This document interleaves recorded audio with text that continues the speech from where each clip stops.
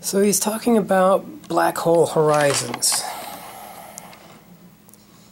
And it's pretty similar to what I'm talking about with the electron. He says if you're observing something close to the event horizon of a black hole, you would virtually destroy it because you would have to put so much energy into detecting that object. And while they're not destroying the electron in the double slit experiment, they're adding energy to it. They're destroying it by not adding energy to it.